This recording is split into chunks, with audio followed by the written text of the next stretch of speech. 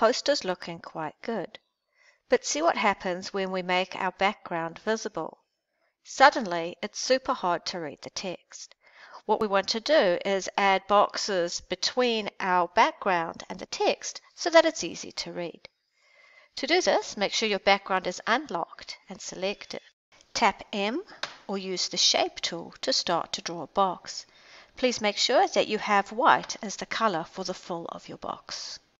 Please take your time when doing this so that the box that you draw in lines up with the grids we made earlier in the process.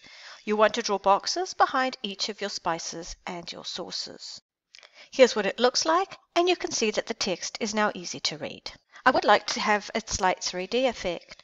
To do this, I'm going to apply a drop shadow to the boxes.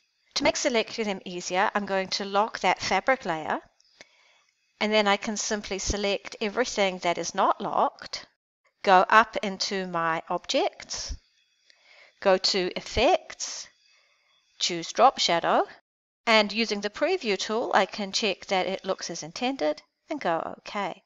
So this is a big improvement.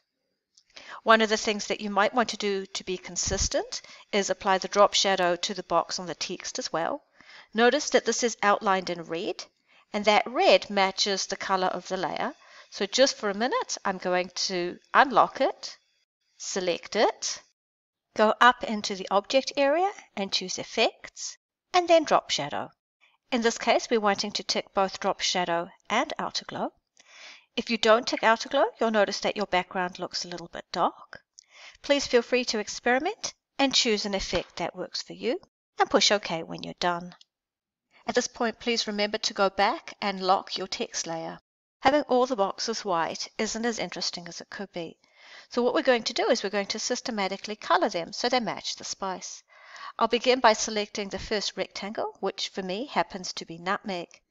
Then what I'm going to do is I'm going to use the eyedropper tool, which is located on the left-hand side. And I'm going to go into my nutmeg image and click on one of the colors. And as you can see, I've got a range of different shades, and I can systematically apply them and decide which one I like. And it turns out that I think the light brown is going to be really effective. I can repeat this process for each of the boxes, choosing colors that match the spice. Whilst InDesign is pretty good at suggesting colors, sometimes it might be a bit darker than we want. In that case, we can double click on the color panel and we can manually edit it so that we get a color that we like.